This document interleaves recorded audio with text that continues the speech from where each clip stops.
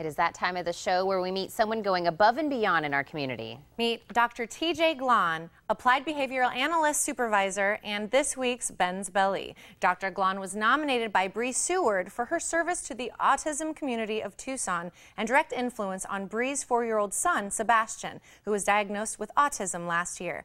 Sebastian was placed with Dr. Glahn, and she has lit up their lives ever since.